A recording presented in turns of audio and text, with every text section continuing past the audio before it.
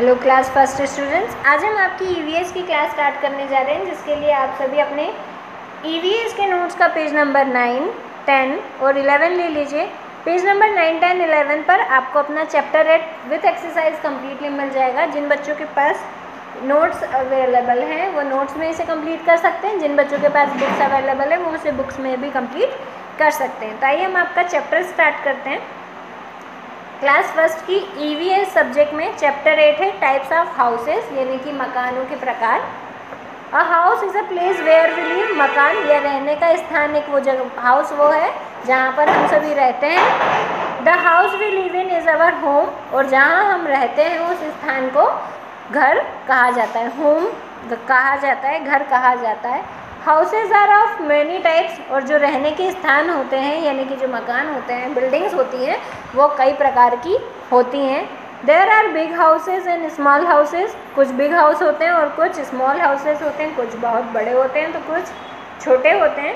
Houses are कच्चा and पक्का और इसी के साथ में वो कच्चा हाउस और पक्का हाउस इस श्रेणी में भी उन्हें टू पार्ट्स में डिवाइड किया हुआ है।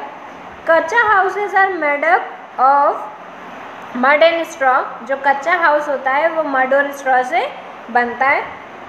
And pakka houses are made up of bricks and cement और पक्का हाउस जो होता है, वो ब्रिक्स और सीमेंट से बनाया जाता है। Some houses are build on top of one another कुछ हाउस जो होते हैं, वो एक के ऊपर एक बनाए जाते हैं। They are called flats and apartment जिन्हें फ्लैट्स और अपार्टमेंट्स कहा जाता है। Should keep our house neat and clean. A house has many rooms और इसी के साथ में एक घर में या एक मकान में बहुत ही सारे कमरे होते हैं। Every room has a special name और इसी के साथ में हर कमरे का एक स्पेशल नेम होता है। यानी कि हर कमरे को उसमें किए जाने वाले काम के अनुसार एक अलग नाम दिया जाता है, जिसमें से फ़र्स्ट आपको यहाँ पर दिया हुआ है kitchen we cook food in the kitchen आपने देखा होगा, सभी के घरों में किचन होता है, जहाँ पर वी कुक फ़ूड यानी कि हम खाना बनाते हैं। Second dining room we eat food in the dining room और डाइनिंग डाइनिंग रूम जहाँ पर सभी बैठकर खाना खाते हैं, उसे डाइनिंग रूम कहा जाता है। Next study room we read books in the study room study room में बैठकर पढ़ाई की जाती है। हम वहाँ बैठकर पढ़ाई करते हैं, किताबें पढ़ सकते हैं, उसे स्टडी रूम कहते हैं। Next bedroom we sleep in the bedroom हम सभी बेडरूम में सोते हैं, यानी कि जो जिस कक्ष में हम सोते हैं, जिस कमरे में हम सोते हैं, उसे बेडरूम कहा जाता है। Next drawing room we sit and talk to our friends in the drawing room और हम हम बैठते हैं, अपने फ्रेंडों से बात करते हैं। अगर हमारे रिलेटिव्स भी आते हैं तो वो हम उन्हें उन्हीं रूम में रोकते हैं, बातें करते हैं।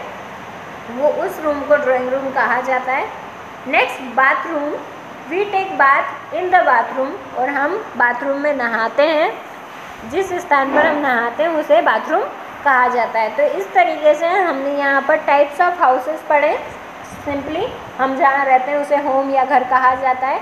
जो हमारे घर होते हैं या हाउसेस होते हैं, वो कई टाइप्स के होते हैं। वो big house and small house होते हैं, यानी कि बड़े और छोटे होते हैं।